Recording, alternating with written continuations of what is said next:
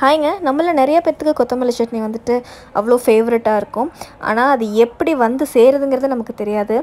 இந்த மாதிரி அப்படியே பசுமையாக விளைஞ்சிருக்கணும். கொஞ்சம் தலை பழுத்தா கூட வியாபாரிங்க வாங்க மாட்டாங்க.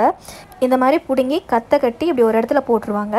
அதை வந்துட்டு சாக்கு வச்சு மூடி வைப்பாங்க. ஈர சாக்காக இருக்கணும். அப்போ தான் வெயிலுக்கு வாடாதுன்னு.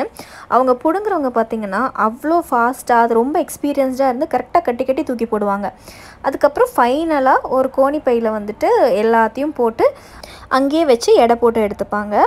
வாங்கிட்டு போகிறவங்களுக்கு என்னமோ அதில் நிறைய லாபம் கிடைக்கும். ஆனால் இங்கே பார்த்தீங்கன்னா கிலோ எட்டு ரூபா பத்து ரூபாக்குள்ள தான் வாங்குவாங்க. ஆனால் மார்க்கெட்டில் ஒரு கட்டே வந்துட்டு பத்து ரூபா இருபது ரூபா அந்த மாதிரி விற்கும் இது முக்கால்வாசி மருந்து இல்லாமல் தான் விளையும். அதனால் நம்ம தைரியமாக சாப்பிட்லாம். அப்படியே சப்ஸ்கிரைப் பண்ணிட்டும் போயிடுங்க. தேங்க்யூ